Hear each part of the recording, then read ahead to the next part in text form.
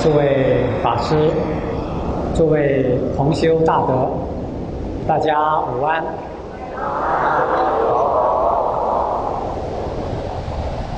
今天定红很荣幸啊，呃，受剃度恩师唱功上人的使命，啊、来跟大家呢研讨一下佛法。那今年看到有这么多的戒子来受八关斋戒，甚至还有出短期出家啊受沙弥十戒啊，这是定红感觉到很欣慰的。那么可能有很多是从大陆来的同胞是吧？大陆来的请举举手。啊，不少，好，谢谢。好。啊，欢迎你们来香港啊！那当然，我们香港的本地的啊同修们，呃，能够抽空啊来这边七天啊受戒学佛啊，深入这个修行，这是一个很殊胜的事情。那么戒律呢，是佛法基础。可以说没有戒律啊，就没有佛法。所以佛当年在涅槃之前，啊，跟比丘们说，佛不住世的时候呢，要以戒为师。所以戒律就是等于佛了。啊，佛在世，我们以佛为师。那佛不在世呢？谁是我们的导师啊？那就是戒律啊，所以我们要把戒律呀，要看成是跟佛一样的，那么敬重，这样呢才是真正的敬佛啊。所以大家能够发心在这里啊受戒呀，啊，这就是很难得啊，真正的敬佛。那么定红出家年这个只有两年啊。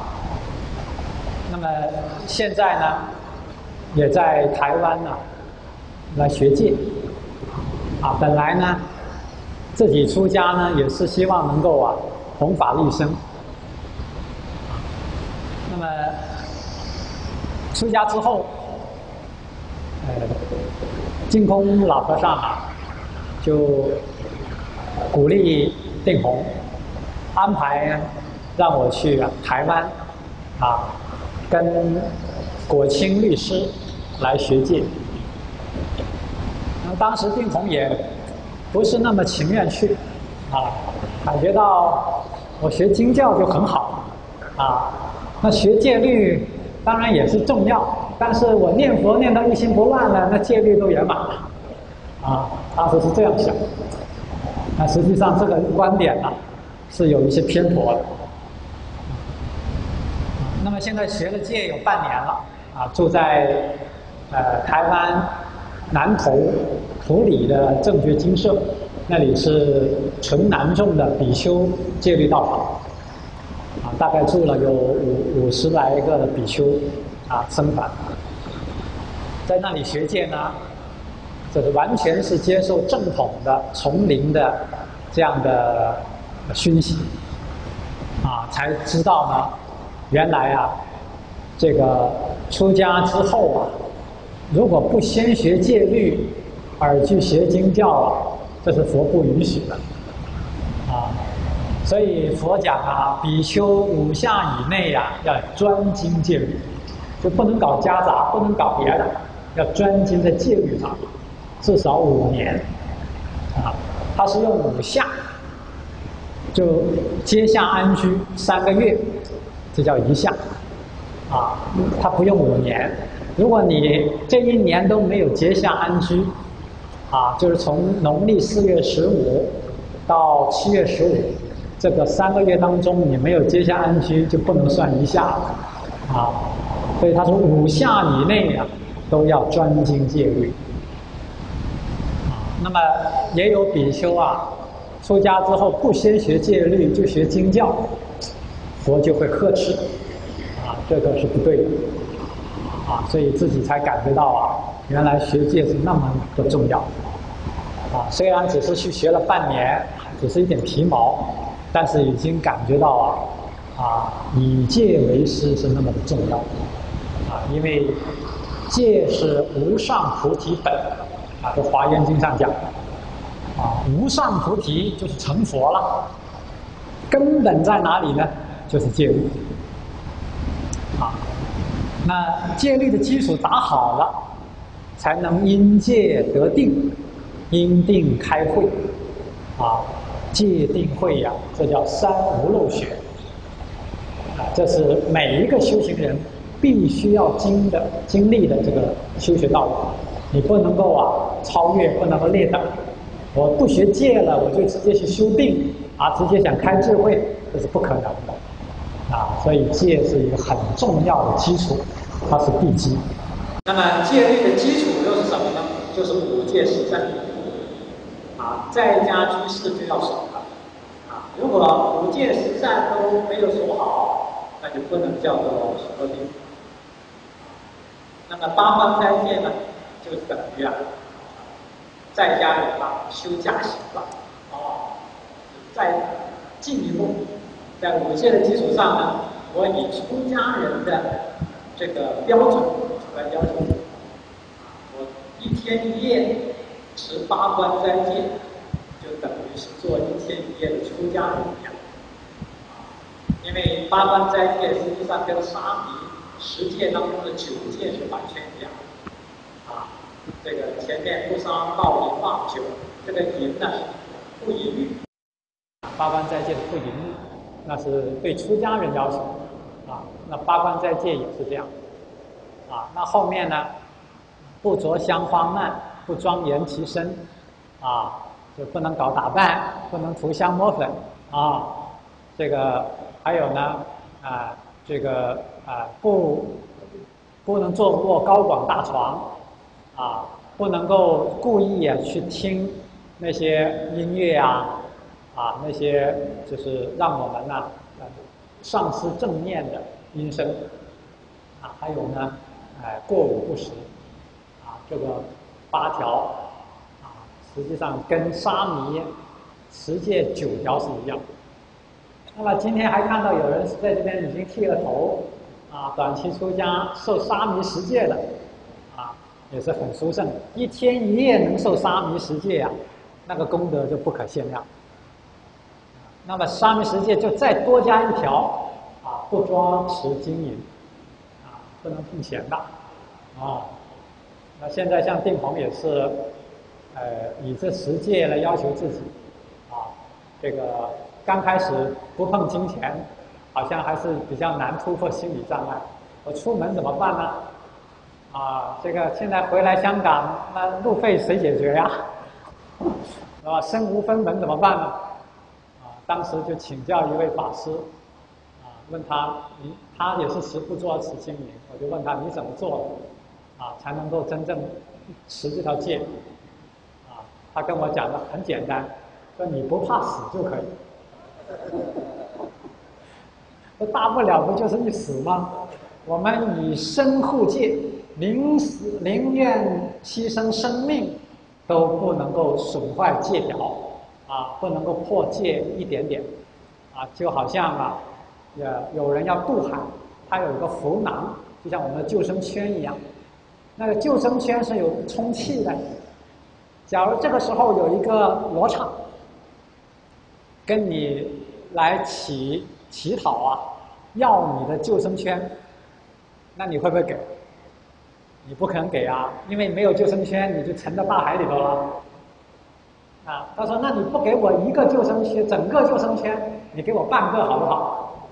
半个也不可以给啊，哪怕给一点一点的啊，像微尘的这么大小的这一块，也不可以给他，因为你给他，气都漏掉了。啊，就是持戒啊，要用这种精神，连少许都不可以违犯。”这样就非常的庄严。你庄严什么呢？庄严自己无上菩提，啊，庄严自己的佛国佛净土。我们回向都念，愿以此功德怎么样？庄严佛净土啊，不是别人的佛净土，是自己的佛净土。用什么庄严呢？用戒定慧来庄严。啊，戒定慧就是功德，啊，不是你在那个功德箱里投几几块钱，那叫功德啊，那个不叫功德，那个只是种一点福田，啊，当然也是好事，啊，但是呢，如果你着相。啊，你认为我是修了功德了，那个就没功德了，啊，功德是戒定慧，啊，是你的清净心，啊，所以定空也很随喜大家能够啊来这里来受戒，那么这个八方斋戒的这种夏令营呢，我们也在此地办过两届，啊，那其今年呢，唱功啊很慈悲啊，发心又办，这个是很难得啊。随喜赞叹。那么，所以定红刚刚接下安居完了，啊，这个今年今天是七月二十二农历，那么七月十六，啊，我们这个八关斋戒完了，啊，之后呢，就有一点假期，啊，就回来看望一下，啊，这个剃度恩师，看望一下净空老和尚。那么，正好呢，这这个这里办啊这个八关斋戒嘛，所以啊唱功呢就马上拉我来这里跟大家讲啊。实际上，定红是很惭愧啊，也没有学好，就是本来是不想再讲的啊。五年学界啊，都不想再讲话了啊。但是呢，啊恩师这样的这个要求。啊，再加上此地又是我出家的地方，啊，是有这样的需要，那是没有办法推辞的。那要讲什么呢？我只有一个半小时的这个时间，想把最精粹的佛法都要贡献给大家，讲什么好呢？我也在想，啊，想了老半天，啊，忽然呢，就想到永明延寿大师的《四料解》。这个是近代啊净土宗十三祖印光大师称为啊这个四四料解啊，就是四句偈呀，是整个佛法的纲要。啊，全部佛法释迦牟尼佛四十九年讲的三藏十二部经，全都在这四四首偈子里面。啊，那所以说这就是佛法的精粹。哎，他用最短最短的时间，就能够让大家了解最精粹的佛法，那莫过于用这四料解法，啊，所以呢，呃，跟大家今天呢，就来分享和学习永明延寿大师的这个四料解。那首先呢，给大家简单的介绍一下永明延寿大师。那我这用国语，有听不懂广东话的，我们这里有同传的翻译机，啊，大家可以，需要的话举手跟我们的义工同修啊来索要。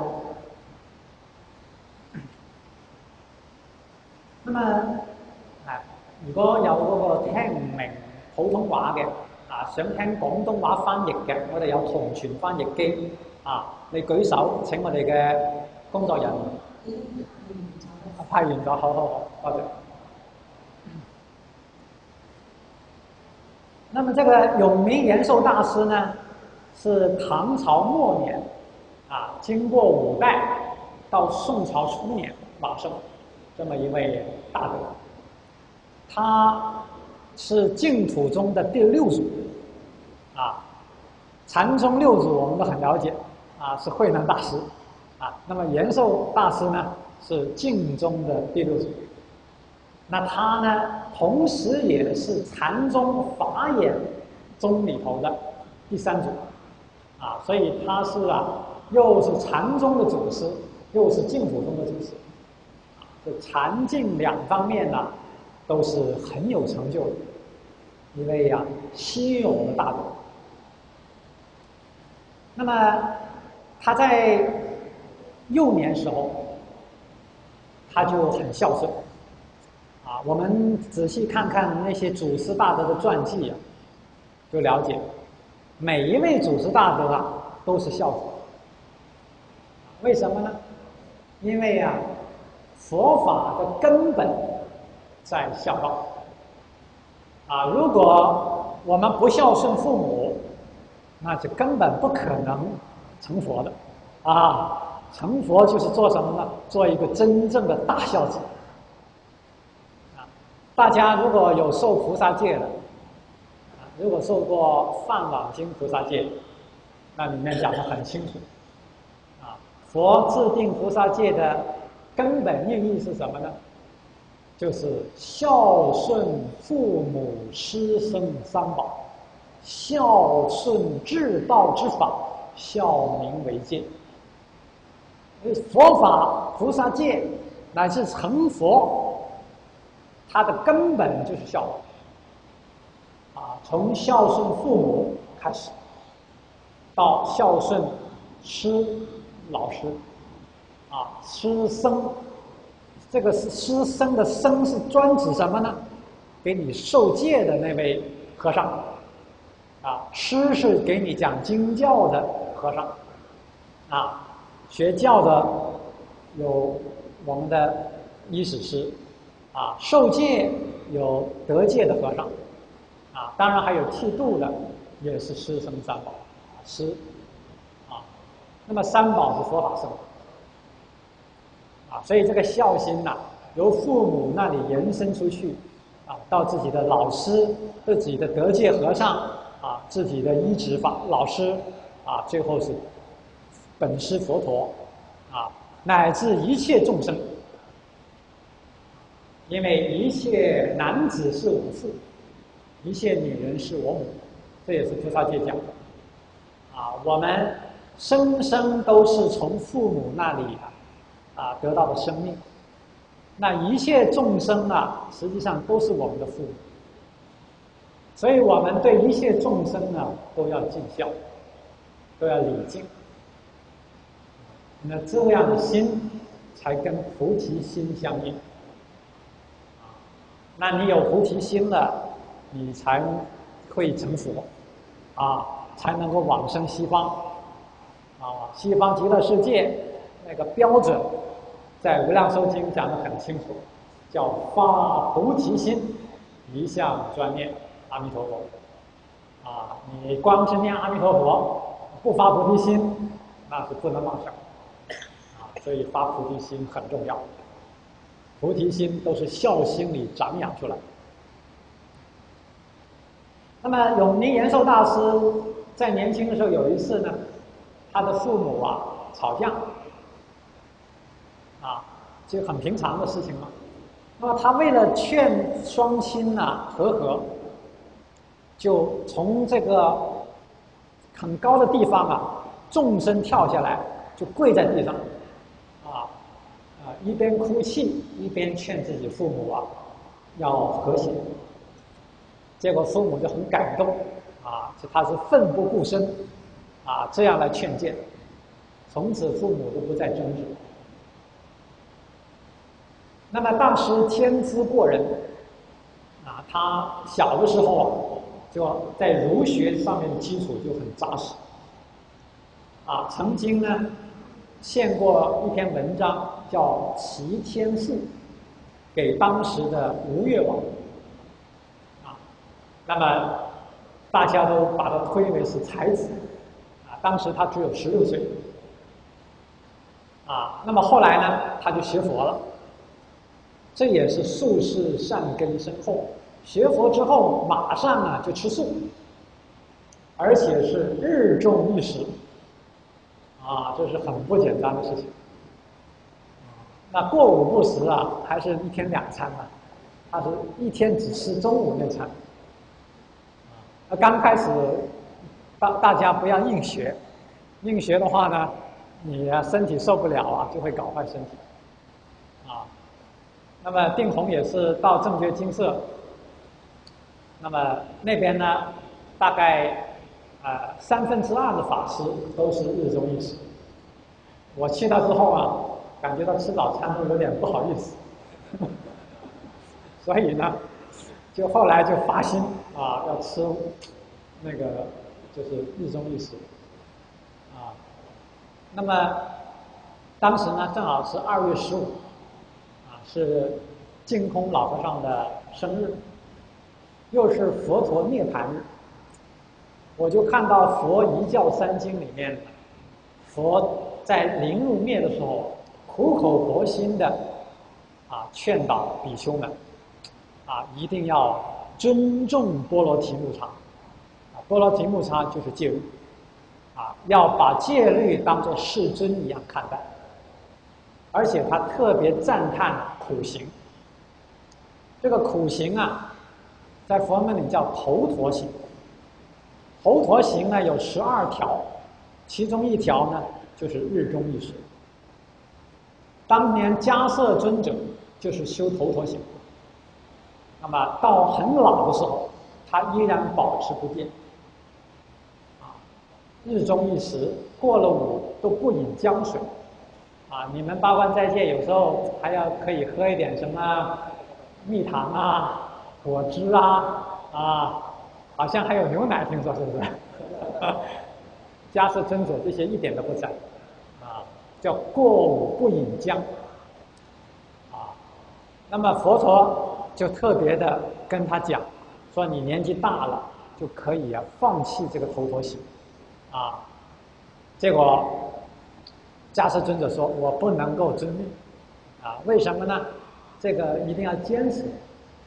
啊然后佛陀就很赞叹，啊，说有迦摄这样的头陀行，我的佛法能够啊多延长五百年，啊，所以欲令正法久住，那就要佛弟子以戒为师，以苦为师。这是佛在入涅盘之前这样的谆谆的嘱咐。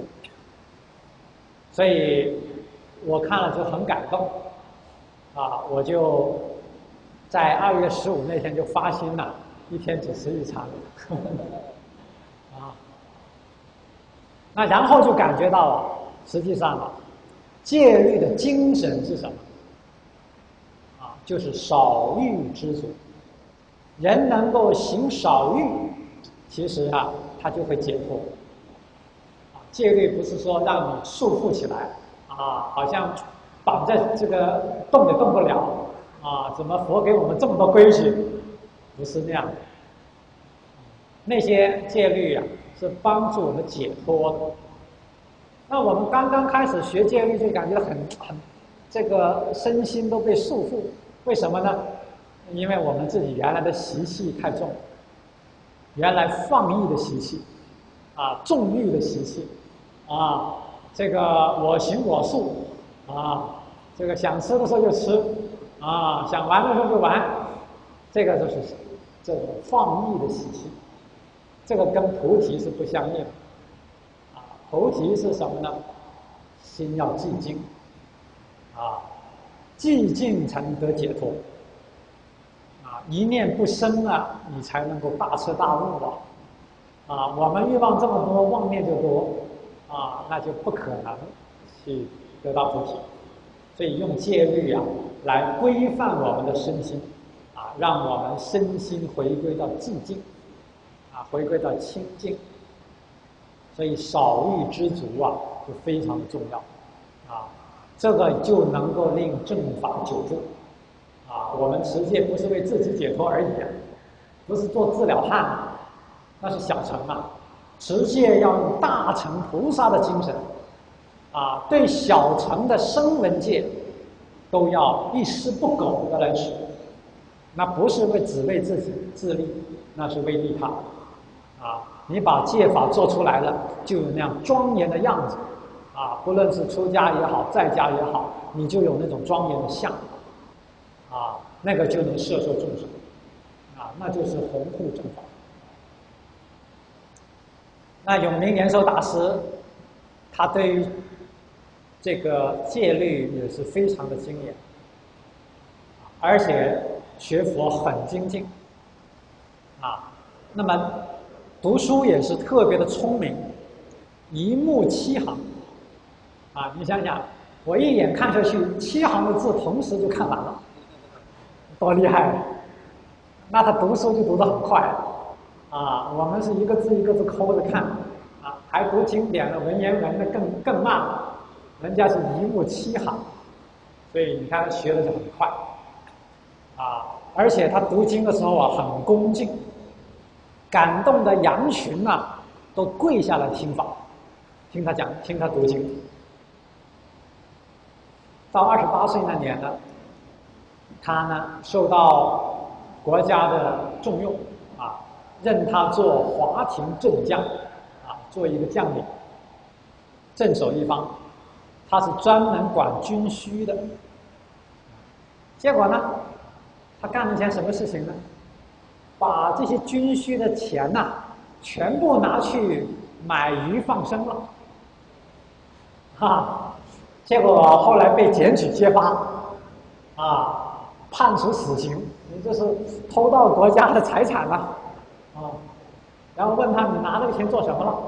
我都放生了，不是他一分钱都没有自己用，全拿去放生，啊！结果呢，就是那个这个判决的官员就很为难，因为嘛，这个事情从来没有见过，啊，他要拿这个钱又不是自己来享受。啊，又是拿去放生，啊，那怎么去判呢？按照国法呢，凡是偷盗国家财产是要斩首的，啊，可是他又不是为自己，怎么办？就跟这个当时啊那个吴越王啊来报告。那吴越王也是信佛的，他说：“那看看他是真的还是假的，啊，你就把他拖到那个刑场，啊，看看他呢有没有害怕。”如果害怕，说明他是假的，就把他砍了算了。啊，如果他没有害怕，那你就让他回来。结果有名延寿大师被押在刑场了，面无惧色，啊，很从容的啊，把脖子伸得长长的啊，说来吧。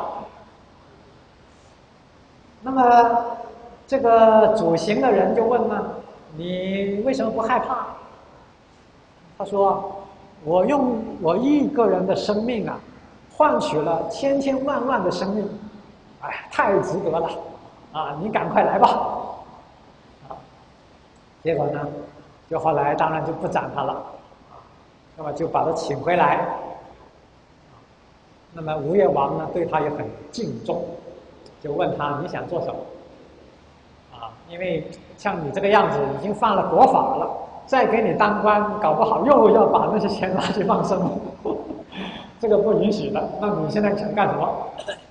啊，永明延寿大师就说：“我想出家。”啊，结果就啊特批给他安排啊，在次名山，就是现在浙江靖县这个地方，啊，在龙策寺跟令参禅师啊出家。法名延寿，啊，字智觉，当年大师三十岁。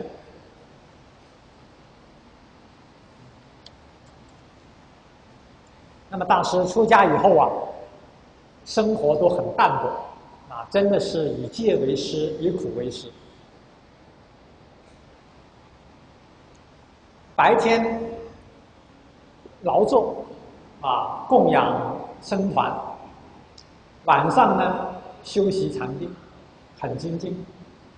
因为刚出家呀，都要做务，啊，像现在丁红就到丛林里面体验这个丛林生活，啊，一去到呢，每天做务五个小时，啊，早上起来，我们是那个三点钟起来嘛，啊，四点钟呢上早殿，啊，那么要做务呢，就上到一半。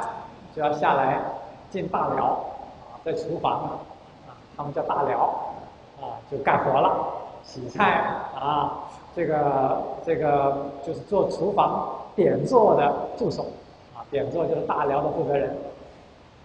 啊，那么然后呢，干完之后啊，他们过早斋之后要洗碗，洗完碗呢啊要清洁打扫卫生。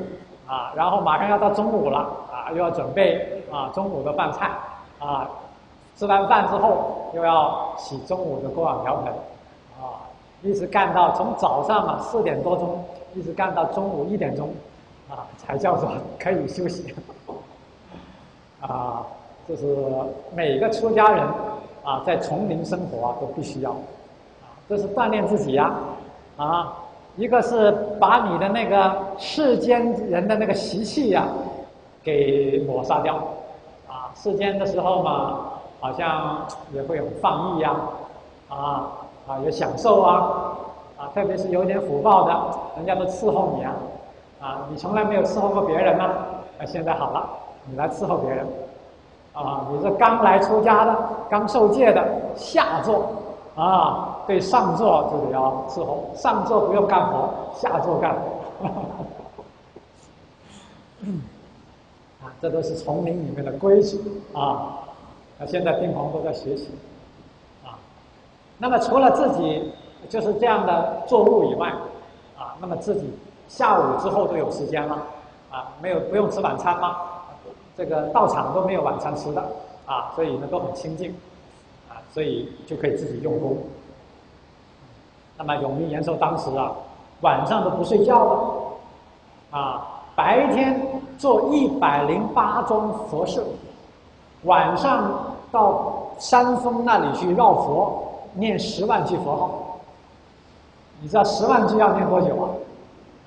就算你最快的速度啊，一小时念一万吧，你也要十个小时。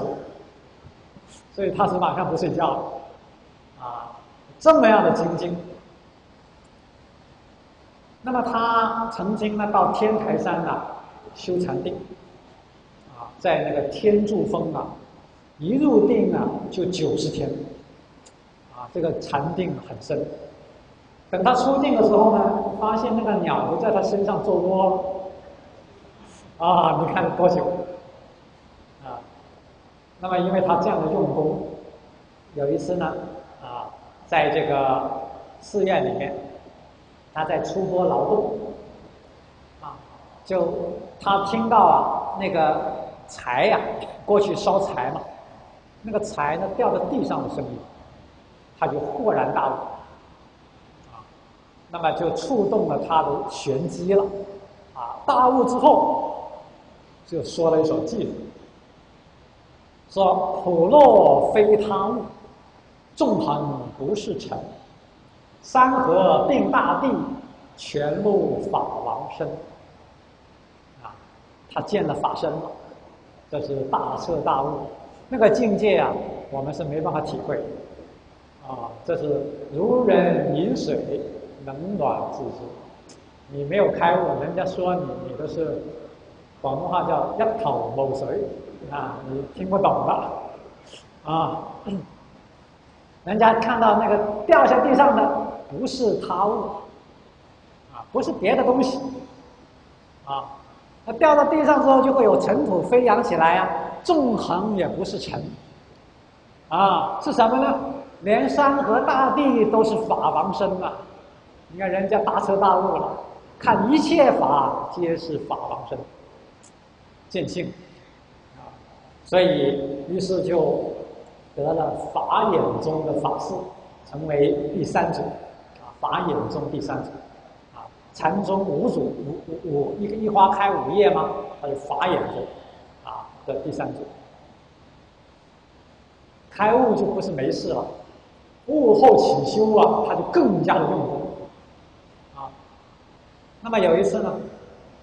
他读到《大智度论》，啊，这是佛佛教里面的一部啊很著名的啊论论著，是解释啊啊这个《摩诃波罗波罗蜜经》的啊。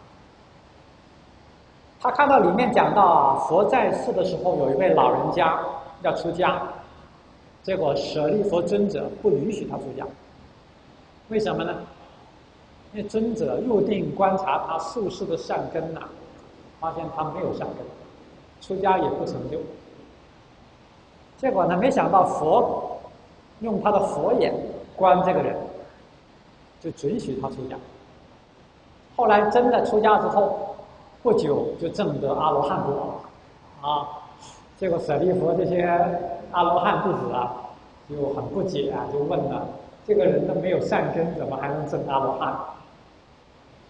那佛说：你们呐，只有看到五五百世，啊，阿罗汉的天眼只看五百世，啊，五百世之前你们没看到，那这个人在八万劫之前。就种了个善根，啊，有一次啊上山砍柴，他是个樵夫，被老虎啊追，他就急着爬上树，啊，然后呢老虎就走了，啊，他就松了一口气，叫了一声南无佛，啊，称了一句这个佛号，结果呢就这么一次善根，八万劫当中就没再种过善根了。而八万劫前种的这一个善根呢，到今天成就成熟，所以他能出家，能证得阿罗汉果，甚至将来他会成佛。啊，所以《法华经》上讲，一称南无佛啊，就必定成佛道。所以永明延寿大师看到这一段，就特别的有感悟。他觉得呀，世间呐轮回六道的这些众生很苦，啊，只有啊靠念佛法门，才能够帮助这些众生得到解脱。啊，你看念一句南无佛，这一生就解脱了。那你这一辈子恐怕不止念一句吧，对不对？就这几天都不止念一句啊，啊，念了好多句了。那你的善根就比他还深厚啊。那你这说不定这一生就能得解脱啊！你往生西方，那就永脱轮回了。所以念佛法门是救度众生最殊胜的法门。永明禅师就悟到这点。啊，虽然他自己是修禅开悟，但是他就特别的提倡念佛。所以他当时就印了弥陀塔。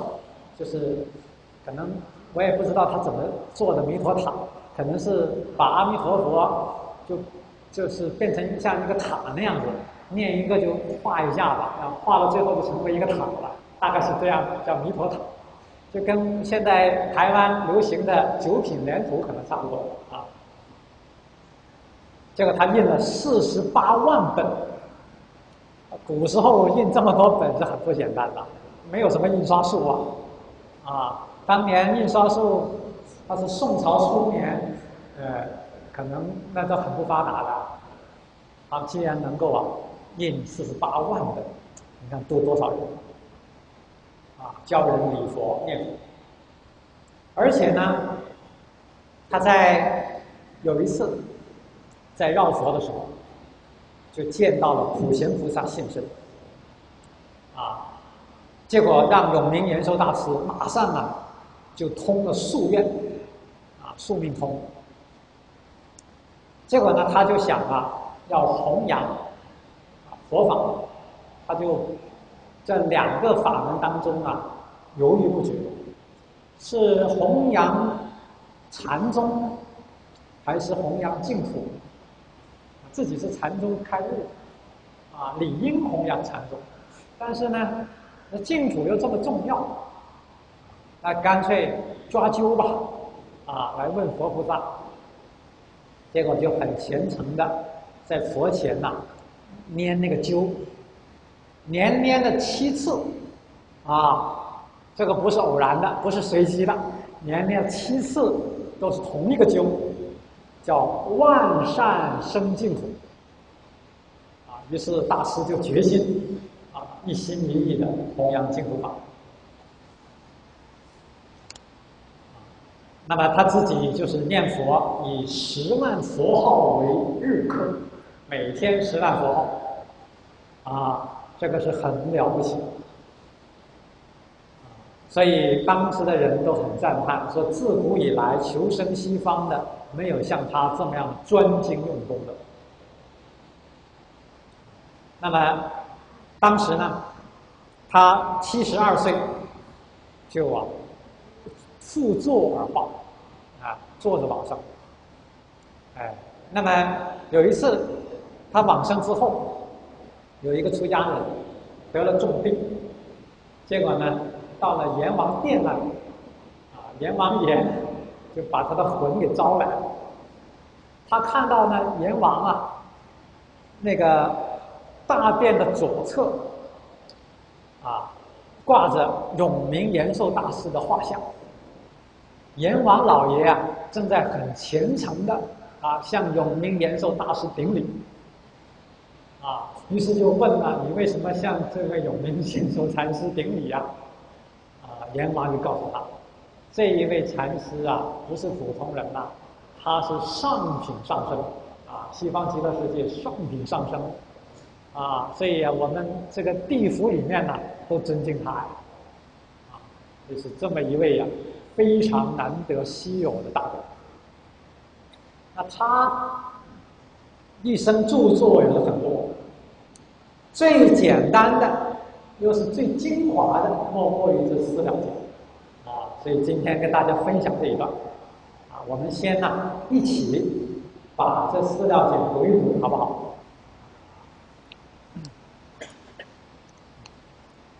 永明延寿大师四料解。有禅有净土，犹如拜脚虎。现世为人师，来生做佛祖。无禅有净土，万修万人去。若得见弥陀，何愁不开悟？有禅无净土，十人九撮路。因境若现前。贴耳随他去，无禅无净土，铁床并同住，万劫与千生，每一个人一户。好，我们就来解释一下，佛教大纲啊，不外乎是五个宗，啊，所谓是律、教、禅。密境，这五宗。那么律宗，它是佛法的根本，啊，实际上律啊不能只是一个宗，是所有宗派啊都要学习律，啊，这是根本的。那么律宗它主张延迟境界，啊，希望什么呢？达到身口意三业清净。清净又怎么样呢？啊，清净之后啊，我们的真性啊才能够显发出来。因为我们的如来本性啊，六祖慧能大师讲，本自清净，本来就清净，啊，它不会有任何染污。你现在正在搞贪嗔痴，你正在搞杀盗淫妄，它也没有丝毫的染污，而且每个人都本来具足，都是个个都有。那么，但是我们现在因为有罪业，啊，有那些不善的造作，所以呢，我们的真性啊就被这些恶业啊给造给障盖住、覆覆盖住。那么，通过持戒呢，让身口意啊回归到清净，就能够让自己的真如本性显发出来。而你当下能够见到啊，五蕴皆空，啊，色受想行识五蕴皆空，于是呢，就脱离苦海，啊，证得彼岸，啊，这心经上讲的，啊，波罗僧阶梯，啊，到彼岸，啊，这就是律宗啊的修行的这个宗旨，都是为了成佛的，啊，不是说持戒就是持戒而已。持戒是为了成佛的啊，让你的真如本性呢显发出来。那么教呢，啊，像天台啊、显手啊，这是教，通过读经。读经呢要修观，啊，不能够我光读，我不去依教修行，那个是没有用。啊，经典啊，就好像啊，指月亮的手指。禅宗啊，讲了指月之指。啊，哪里有月亮啊？那里是月亮。那你不能说哎，这这就是月亮，那手指是月亮，那就错了。啊，你应该依着手指指的方向去看到月亮，这就对了。那个教啊，那些经典啊，就像手指一样，它是指向月亮的。你要是执着了经典的文字，你把手指当成月亮了，那你就见不到月亮。啊，所以见月了，就叫明心见性。所以我们修行目标就是明心见性啊，成佛啊，离不开经典，但又不能执着于经典，啊，你离开经典呢是盲修瞎练，你执着经典的语言文字，执文字相，啊，那你就永远见不到性，啊，所以马明菩萨《大乘起信论》里面教我们啊，读经要有三原则。啊离名字相，啊，离言说相，离心缘相，啊，离开这些语言文字的名词术语这些相，啊，离开那个言说的相。你听我讲课，你就不能指着我的言说，啊，你专心的听，但是呢，你也不要去执着文字，不要执着名词术语。啊，听懂了就好。啊，听不懂怎么办？听不懂呢，反复听。哎，反复听呢，就是熏习，一遍一遍的熏，熏到最后啊，就会大彻大悟。这是不着那个文字相。啊，如果着文字相呢，你学到的只叫做佛教知识，那不是智慧。啊。那你学了很多很多经，搞了很多知识，你可以在大学里，香港大学有佛教的专业，你可以在那里做教授，啊，但是你没有开悟，你没有断烦恼，你没有出轮回，啊，你更离成佛很遥远，这不是佛希望你做，佛希望你要成佛啊，要断烦恼啊，啊，不是只是做一个佛学教授而已啊，啊。所以要离开这些相，啊，所以这个是我们读经的时候啊，要特别注意到。那么，当我们能够啊见性了，这就等于回归了，啊，就这就是成佛。但是教下讲的这个见性啊，实际上叫大开圆解，啊，对于经典一下一下子通，大开圆解。但是还不是真正成圆满的佛，啊，只是你的知见跟佛是完全相同，但是你在断烦恼的功夫上跟佛还是很遥远，啊，所以天台中讲六即佛呀，这个叫名字即佛，那是在经教里面开圆解了，然后你才有观行。啊，你才依教起修，啊，修到最后，你断烦恼，断见思烦恼，就是相似位中的佛，啊，还在六道，还在那个十法界里面。当你断了这个无名烦恼了，啊，这个尘沙无名烦恼都断了，你才能成圆满佛，你才出十法界，啊，那圆满的证得你的法相。所以教下讲大开圆解，那还不是真的圆满过啊。但是呢，你的方向已经清楚了，你就一直往那个方向进步，你就可以成佛啊，就不会退转。那么密宗，这个大家可能比较少接触。他们的原则，修行原则讲求三密相应。啊，是我们修学的人身口意跟三密如来的三密啊，如来的身口业啊，我们要跟他相应，相应呢就得佛的加持啊。那么得到三密的加持，能够转识成智啊，把你的阿拉也识转成了大圆镜智，啊，把你的前五根的这个五识眼耳鼻舌身，啊，转成成所作智，啊，把你的第六识分别的那个意识转成了妙观察智，啊，这个把你的第七识莫那识。就是这个执着的这个识，啊，也是转成这个执，所以转八十成四智，你才叫成佛。那这个成佛呢，密宗讲即生成佛，那实际上呢，也不是圆满佛，啊，不是释迦牟尼佛、阿弥陀佛那样圆满的，啊，他只是讲什么呢？即生了生死了。啊，真正出三界了，啊，是这样子，啊，甚至有的更高的，可能是入一真法界，但是是天台讲的分正即佛，这就很大很高。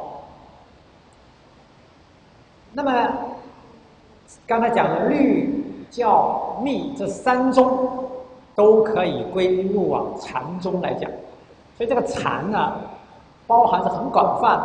啊，不是只是一花开五叶那个禅宗，啊，律也是禅，教也是禅，密也是禅，啊，什么是禅呢？禅就是佛心啊，就是如来的本性啊，你能证得本性呢，就是禅，啊，这样的讲法。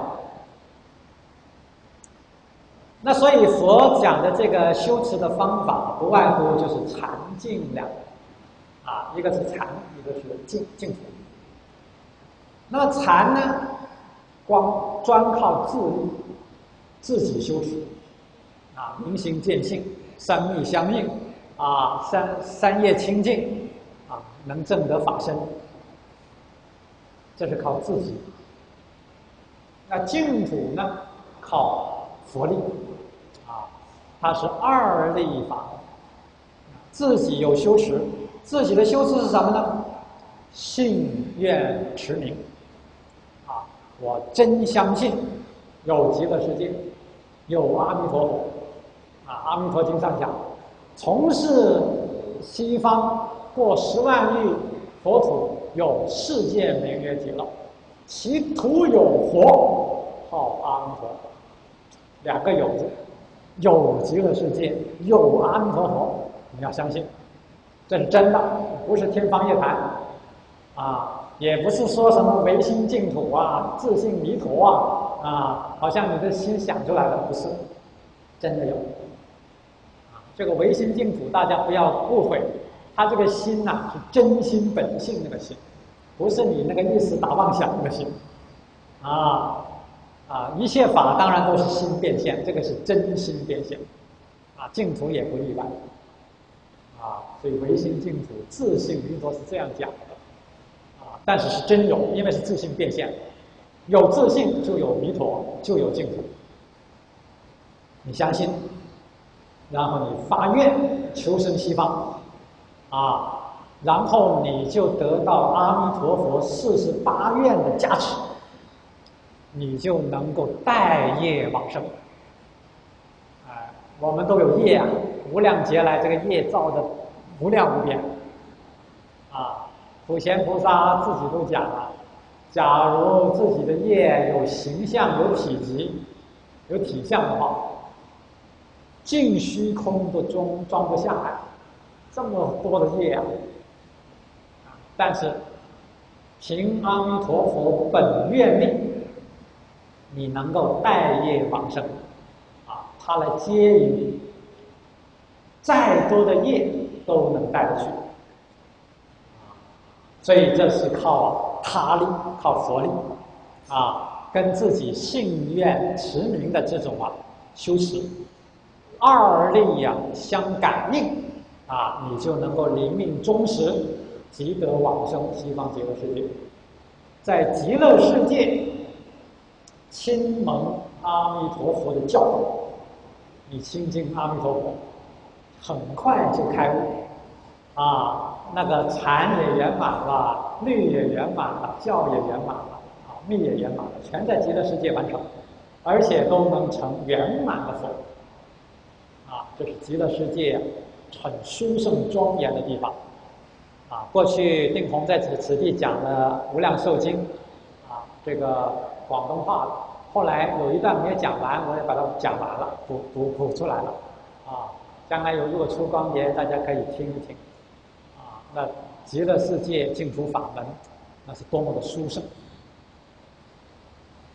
那么靠待业往生这样的法门啊，叫净土。那么在理上讲，禅跟净是一样不二，啊，都是为了明心见性，都是为了成佛。但是在修持的难易程度上来讲啊，这是天渊之别。禅太难，太不容易了。你靠自己的力量，哎呀，那像有名延寿大师这样行。你看你行不行？早从白天一百零八桩佛事，晚上十万句佛号，你不睡觉，你看你能不能做得到？可能做一天还行哦，做一个礼拜就倒下去了。难呐，不是普通人能做得到，那是上上根基。净土就很容易，啊，我深相信，我真发愿求生西方，我念阿弥陀佛，无量寿经来里面讲，乃至十念，啊，就是阿弥陀佛，阿弥陀佛，阿弥陀佛，阿弥陀佛，阿弥陀佛，阿弥陀佛，阿弥陀佛，阿弥陀佛，阿弥陀佛，阿弥陀佛，就往上了，十句佛号必生，这十句佛号谁不能念了？谁都能念了，太容易了。行门上讲啊，没有说像净土那么简单，所以这里叫逆行道，禅宗叫难行道，啊，这个禅就刚才讲的解律宗、密宗、教下都属于禅，难行道，啊，当然我们也是不是说，呃，不鼓励人家学，你要难行能行，我们是很赞叹，对吧？我们呢行不了，我们行个易的，反正最后是结果一样嘛，都能成佛嘛。那我干嘛不搞一个易的？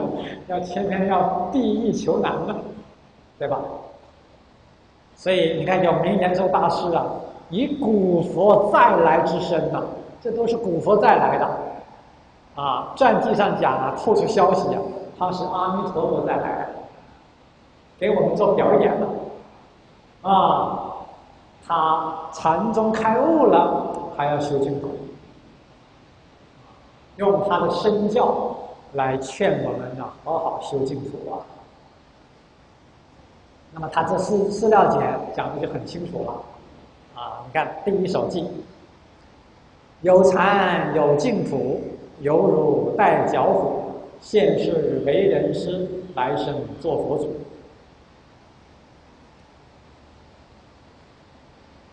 首先，我们要搞清楚什么叫禅，什么叫净土。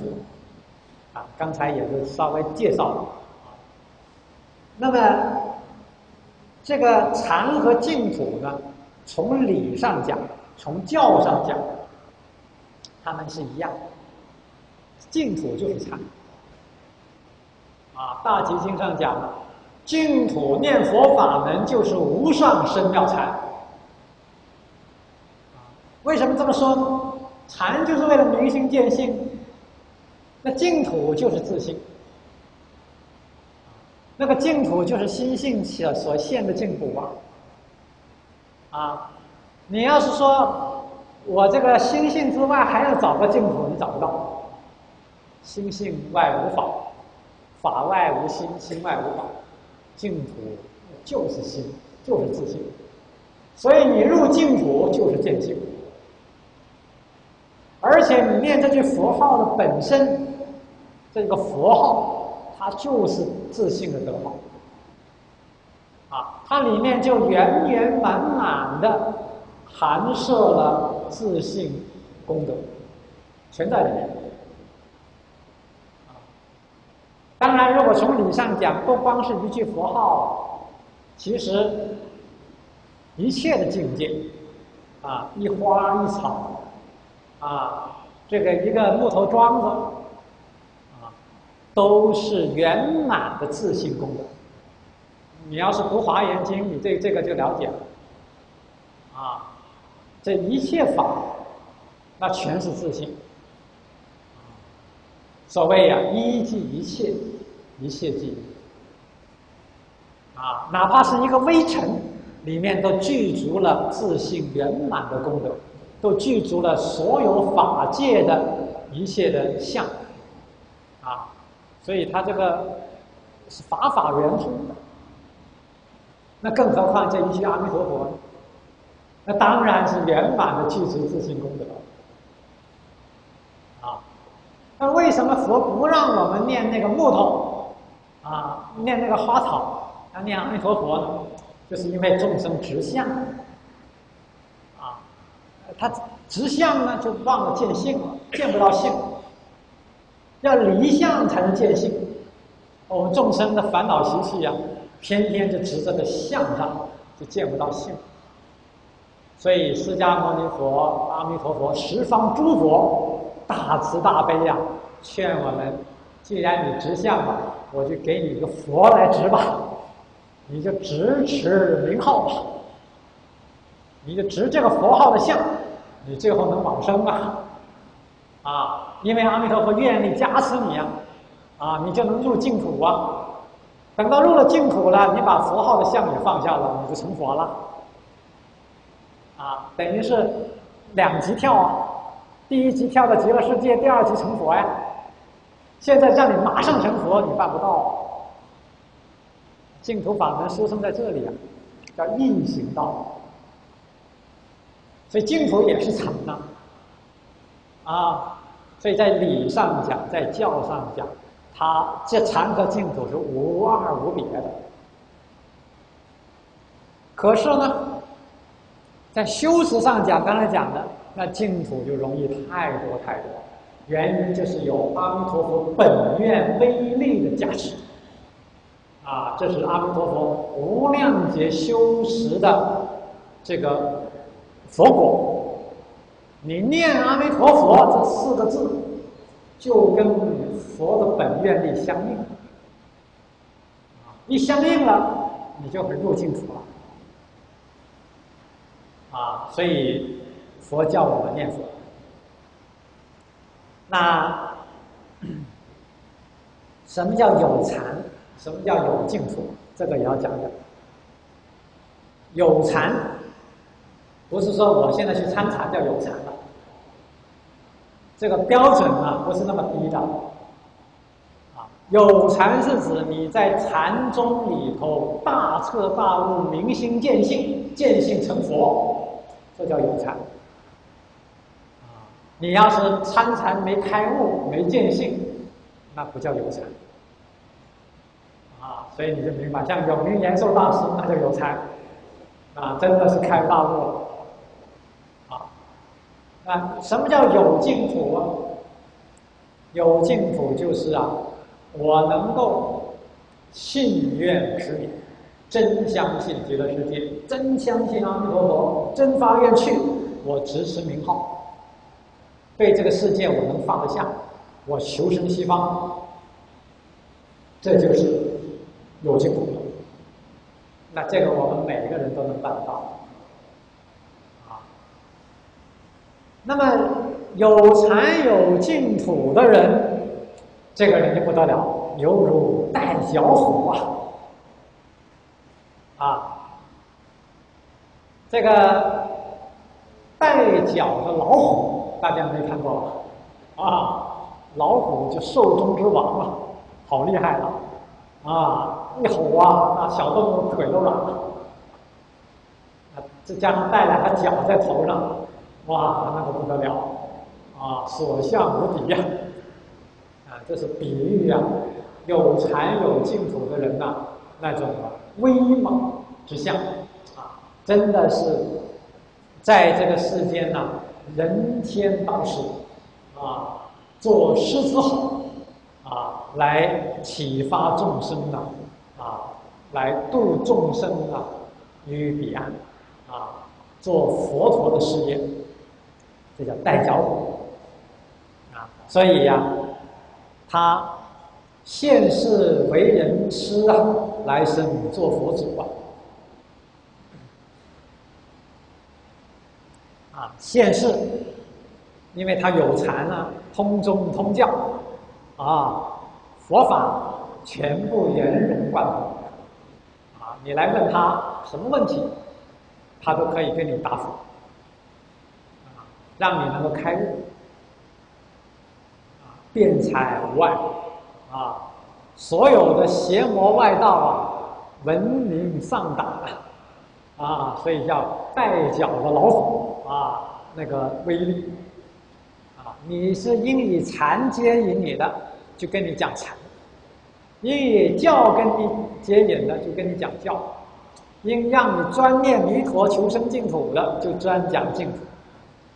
啊，随机教化，啊，真的是人天导师，啊，临终往生啊，就像有名禅师，啊。坐着走，站着走，啊，然后啊，这个一往生西方，上上品，啊，一到西方极乐世界，开花见佛，圆满正得法身，啊，那正得法身的人，至少原教初住位以上，啊，那个就是啊，成佛，啊，分正即佛。原教初住位就能在一百个法界里面成佛，他可以视现成佛，啊，那么二住位呢，就两百个法界，倍倍往上增，啊，所以十住、十行、十回向、十地，啊，到等觉四十一个位次，倍倍增盛，啊，最后你圆满佛了，可以在十方无量法界实现成佛。所以来生做佛祖啊，啊，这叫有禅有净土。那么第二首偈呢？无禅有净土，万修万无去。若得见弥陀，何愁不开悟？那这种人没有明心见性，没有禅啊，但是呢，他能够啊。一心一意求生西方极乐世界，对对西方深信不疑，对弥陀本愿为这个深信不疑，对自己本有的佛性啊，是相信自己一定能成佛，这个信心也一点不动摇。那怎么去成佛呢？我到西方极乐世界成佛。所以他一心一意念佛，就像大势至菩萨，都摄六根，净念相继，啊，六根呢全部都收摄起来，专注在佛号上。我们平常念佛，哪怕你念十句佛号，都要专注，这叫都摄六根，啊，净念不相继，啊，就好像啊，如子一母啊。孝顺的孩子在外面呢流浪了，想念呢故乡的母亲。啊，母亲就像佛，佛念我们呐如母一子，啊，像母亲念的孩子，时刻都不断。啊，那母亲念我们是念一生而已啊，佛念我们是生生世世无量劫，啊，没有丝毫断过，只是我们众生不肯念佛了。啊，所以在外面流浪啊，孤苦伶仃啊，冤枉受苦啊。那现在能够回头了，我想回老家，回西方了，我就一心念阿弥陀佛，就能跟阿弥陀佛感应道交，蒙佛摄受啊。那么你如果平常就有修持啊，就有戒定慧的功夫。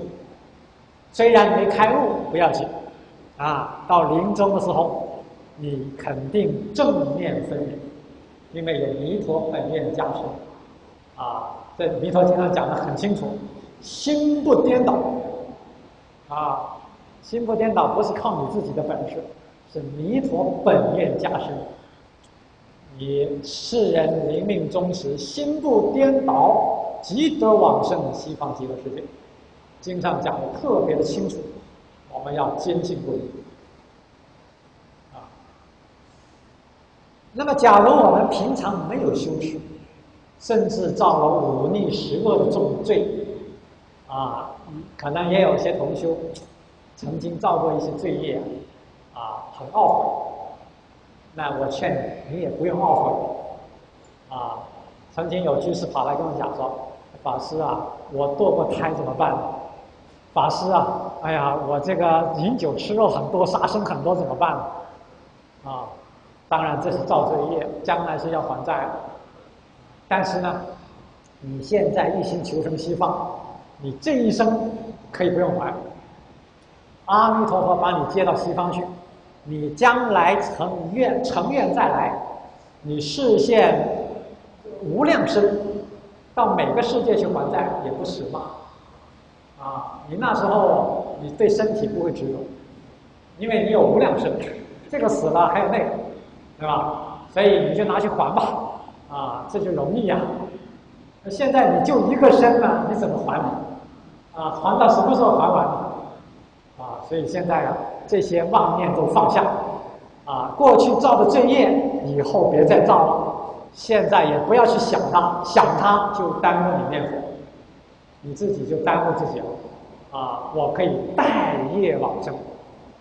啊，佛想了，你再重的业，忤逆十恶都能带业往生。忤逆呀，一般人都造不了的，你没那个福报还造不了忤逆呢。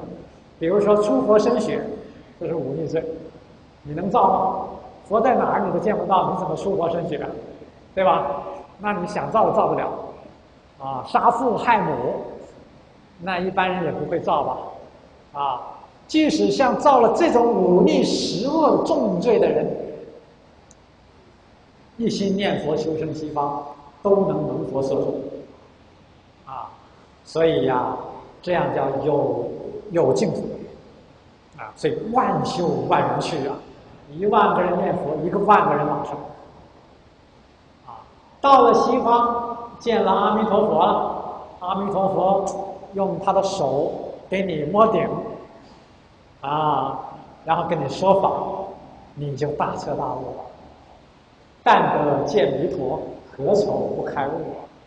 你不用着急，现在开悟，你越着急越不开悟。啊，你一着急那是妄想，是执着。把你的悟门都堵死了，你就老老实实念佛，去了西方肯定开悟，啊。那如果说我还想这一生求开悟，开了悟我能够讲法，哇，看到那个法师讲经说法，法缘殊胜，那么多人的顶礼膜拜供养，好羡慕他呀，啊，我也要学他，我先不学西方，我要去学弘法利生。那我告诉你，你很危险，将来你可能就啊堕落啊，啊！你现在即使发了这个心，里头有夹杂，夹杂什么呢？名利呀，这个贪没放下，你还贪着名闻利养，啊，贪着弘法利生，啊，那都是没放下，那不叫有净土啊。劝人念佛，自己不肯念；劝人去西方，自己不去西方，那不叫有净土。啊，真正有净土，弘法利生都放下。啊，什么修福修慧很好，我现在先去西方。啊，这个禅律密，当然，呃，有缘，我们呢用它来做修持，啊，加持自己往生的资粮，这是可以。不能说舍弃净土法门去求其他的，那你就大错特错了。所以你看后面讲的有禅无净土，十人九错路，阴境若现前，贴耳随他去。这个就提醒我们了。这里讲有禅无净土，不是普通人了。是在禅中大彻大悟之人，啊，教下大开圆解的人，他在大悟之后，如果他不求生西方，那么十个人里头啊，九个人蹉跎、蹉蹉蹉跎，就耽搁了，走冤枉路啊。那么这个阴尽若现前。这个阴境是指中阴身的境界，就人临终的时候，啊，这口气断了，你就进入中阴身，因为你没有真正了生死啊。虽然是大悟了，你的知见都跟佛差不多了，但是你断烦恼的功夫不够，见思烦恼没断，哪怕还有一点点，你都出不了生死。那还是要搞六道轮回，这是很可惜的。印光大师讲了一个例子，是很有名的三生石的故事。啊，这讲什么呢？在唐朝，哎，元泽禅师，他已经修到可以知过去未来，啊，那么他跟李元居士是好朋友，啊，李元呢，他的父亲呢是一位呀太守，啊，后来安禄山造反，就把他父亲给杀了，所以李元呢就就不再想在世间有功名了，就一心学佛。那么他就把自己的住宅改成了寺院，啊，在里头修行。啊，而且请元泽法师做方丈，啊，护持三宝。那么过了几年呢，李元呢要去朝峨眉山，就想约元泽禅师一起去。那么元泽禅师就要求啊，走陕西，走汉路。李元呢要求走水路，啊，要这个啊乘船走。那元泽禅师呢没有办法，因为。禅师都是很调柔的，啊，他不执着，你要求这样就随顺你。结果坐船呢，从水路啊，有一就经过啊水比较险的地方啊一个险地，就停船了，啊，刚好晚上了要住宿。忽然呢，就看到有一个妇女在岸边呢，啊，在打水。元泽禅师一看到他，两个眼睛就流眼泪了。李元居士就问了：“你为什么见到这个女人流眼泪？”啊，元泽禅师说：“我当初啊，不肯从水路走啊，就是怕见到这位妇女。这个人呢，已经怀孕三年了，啊，等谁呢？就等我呀，等我去投胎了。”啊，因为我有禅定的功夫，所以一直没去呀。啊，只要没去遇到他，我就可以不用去投胎。现在遇上了，我就躲不过了，所以就要去投胎了。啊，说呢，你三天之后去找这个富人家，见到一个婴儿，啊，我们约定我会朝你笑一笑，你就知道是我了。啊，然后说再过十二年八月十五。晚上，你到杭州天竺葛洪景办来会我。啊，禅师说完就作画。啊，结果呢，三天之后，这个李元居士就到那个妇女家里，果然看到孩子出生三天，跟着他笑一笑。知道这就是原则禅师。啊，然后呢，十二年之后，李元居士就按照约定啊。就到了杭州啊，天竺葛洪景办，真的见到一个牧牛童，十二岁的孩子，啊，坐在牛背上，吹着小笛子，啊，就缓缓的过来了。见到李元居士啊，啊，两个人呢，就是就是都互相的知道了啊，老朋友相见了。然后这个放牛娃呢，就唱了一首偈子，啊，说三生石上旧精魂，赏月迎风不要论。惭愧情人相远访，此生难觅性长存。就讲得很清楚了。这个三生石上，过去、现在、未来三生啊，旧精魂，那魂还是原来的魂，形体已经变了。啊，惭愧情人远相访啊，有情的人呐，啊，过去有缘人呐，互相见了面了，不要再论什么了。啊，此生虽异，异就是变了，这个身体变了，那个性长存，啊，我们的真性是不会变的，啊，说完这个孩子就走了，这是真实的故事，啊，三生石，所以你看看，像元泽禅师这等人物，你能办得到吗？你能够像他这个禅功吗？禅定功夫吗？不行啊。像他这样的人还没有了生死，他不求生净土，来生就变成了放牛娃而已了，多可怕！而且一世不如一世。倘若这一生修行，来生有大福报，大福报未必是好事啊。你现在比如说做了王亲国戚，大富大贵了。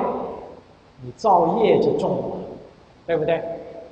啊，你杀生肯定比别人杀的多，啊，杀到银酒杀到银旺酒，可能都会干的比别人多一点，啊，这个就是很可怕的事。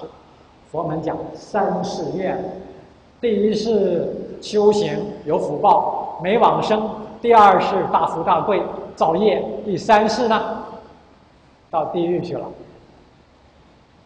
所以第四首偈就讲了：无禅无净土啊，啊，铁床并同住，万劫以千生，没个人一户啊。啊，你修禅又没修成功，这种不是讲一般世间人呐，讲我们学佛的人，你又不能够在禅中明心见性了生死，自立没成就，又不能往生西方。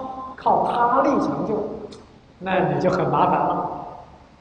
啊，来生你大富大贵，因为你有修行，你可能持戒，啊，你可能呢修了很大的布施供养，那么结果呢，第二生就会迷，一迷了之后啊，那造业就很可怕。你没有福报，还造不了很大的业。啊，你是穷人，你可能想要干什么，这个这个大恶你也干不了。但是你要是很有福报，你也做了一个官员，你要干大恶就很容易啊。啊，那官员都是前生修行人，要不然哪有这么大福报？那结果呢，来生就是铁床铜柱啊，讲地狱。啊。这人在那个烧的铁红的那个铁床上啊，被煎烤，啊，像铁板烧一样，对吧？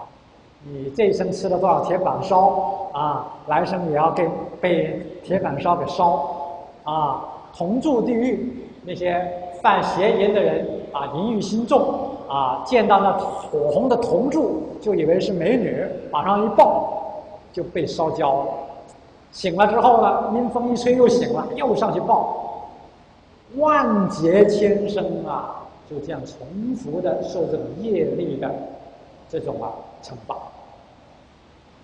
所以每一个人一户啊，这是讲他很可怜呐，靠谁都靠不上啊。那么这个饲料碱啊，我们看了之后啊，自己就要有警觉心啊，自己。禅能不能开悟？那每个人不一样。反正像我这种根性啊，这一生绝对不可能了。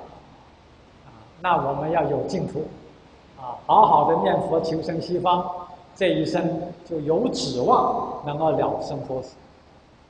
而往生净土并不难，你只要真信切愿，求生西方就一定能去。啊但是真心切愿的人，说老实话也不多。为什么呢？你对这个世间还有迷恋，还有放不下，不叫真心切愿。啊，要真心切愿，通通放下。啊，恨不得我现在就去西方。你阿弥陀佛，越早来接我越好啊！啊，这才是真正放下。啊，过去灿云老法师，台湾啊也很有名的，请教果清老和尚。啊，说我这个寺院盖了一半没盖好怎么办？果清老和尚说：没盖好就不盖吧。要走就得赶快走啊！啊，我现在要走就可以现在走，寺院盖不盖无所谓呀，这叫放下了。啊，你不要说执着，这是好事，我没干完呢，那是执着，因缘自然，该干成就干成，众生有福，好事就成就；众生没福，那以后再说，可可不能耽误自己求生希望。啊，那。连这样的好事、弘法利生或是正法的事，我们都不执着，那你世间的功名啊、利养啊、啊财产啊、家庭儿女啊，那些更要放下，啊，心地清净，一心求生希望，那你就决定能见阿弥陀佛，啊，但得见弥陀，何愁不开悟？啊，你肯定开悟，肯定成佛。啊，今天呢？时间就到了，丁红就跟大家分享到这里啊，谢谢大家，阿弥陀佛。啊，能够在这里好好的修学，哎，能够真正的啊发心，哎，我认真的持戒，啊，不仅是现在这几天持，啊，更重要的回家还要保持五戒，啊，八关斋戒就可以不必。五戒必须要持，啊，然后念阿弥陀佛，持戒念佛，你就可以呀拿到往生的把握，啊，祝福大家啊，道业早成，啊，吉祥如意。